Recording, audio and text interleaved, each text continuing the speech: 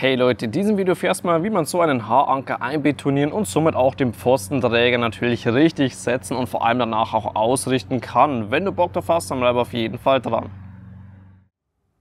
Bei kleineren Lasten wie zum Beispiel einer Terrasse oder auch einem kleinen Zaun können wir ruhig solche Einschlaghülsen hier einbetonieren. Dafür habe ich auch schon ein extra Video auf dem Kanal. Aber wenn da größere Lasten wie zum Beispiel bei einem großen Carport oder auch einem großen Sichtschutzzaun am Ende drauf wirken sollten, dann sollten wir auf jeden Fall solche Haaranker verwenden.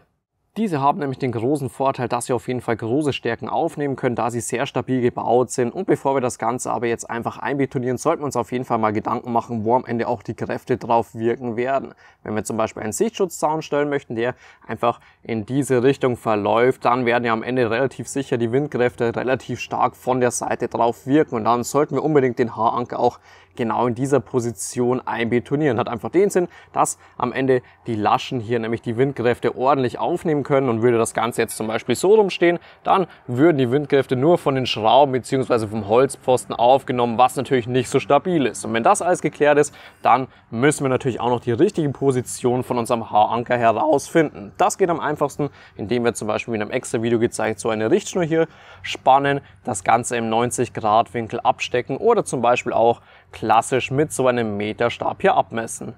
Wenn das geklärt ist, sollten wir am besten mal ein 40 x 40 cm großes Loch, am besten mit einem einfachen Spaten graben.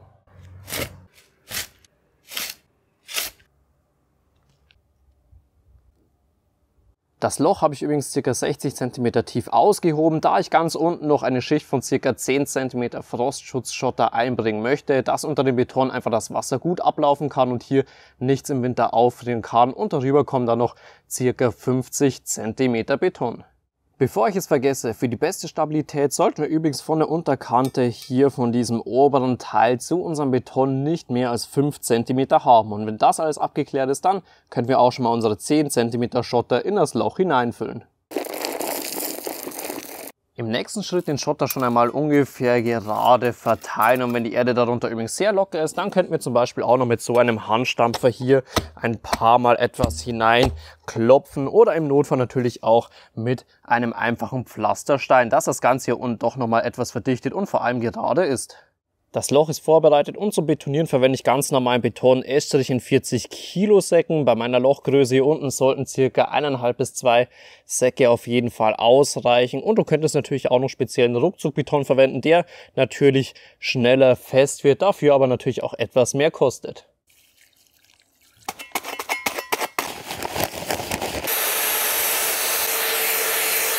Die Konsistenz schaut super aus. Das Ganze ist nicht zu fest, aber auch nicht zu flüssig. Und wir sollten am besten danach sofort mit einer Holzlatte das Ganze noch ein bisschen besser verteilen und auch ordentlich durchstampfen, dass sich im Beton einfach keine größeren Hohlräume bilden können. Und danach natürlich etwas unter die Rasenkante auffüllen. Würden wir den Anker einfach in den Beton hineinsetzen und etwas mit einer Wasserwaage ausrichten, würden wir das Ganze natürlich nie im Leben gerade hinbekommen, beziehungsweise es würde einfach nicht halten. Bedeutet, wir müssen erst einmal irgendwie eine Fixierung machen, dass es von der Höhe passt und da nehme ich am besten eine einfache dünne Holzlatte her, meines ca. 2 Zentimeter jetzt dick, gebe das Ganze über das Loch drüber und kann dann nämlich den Haaranker auch schon dementsprechend einmal so weit runtergehen, bis ich auf meiner Holzlatte drauf sitze.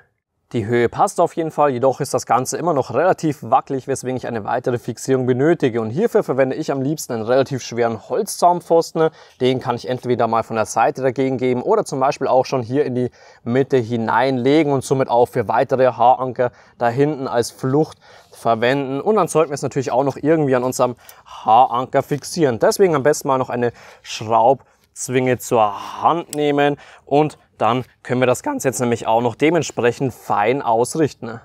Hierfür benötigen wir auf jeden Fall mal eine Wasserwaage, die kann ich jetzt von der Seite und auch von vorne mal dagegen geben und dann da richte ich es am liebsten noch mit einfachen Holzteilen aus. Bedeutet hier einfach mal, dieses Holzstückchen kann ich auch unter meinen Zaumpfosten geben, dass der Haaranker natürlich etwas in die andere Richtung kippt und mit solchen kleinen Holzkeilen hier könnte ich zum Beispiel auch noch von dahinter das Ganze etwas besser ausrichten. Danach sollten wir es natürlich nochmal dementsprechend mit der Wasserwaage nachkontrollieren und somit haben wir dann aber auch schon so einen Haaranker richtig gesetzt. Und bei normalem Beton würde ich jetzt einfach mal mindestens 24 Stunden lang warten, bis der Beton schon etwas angezogen hat und dann können wir nämlich auch dementsprechend weitermachen.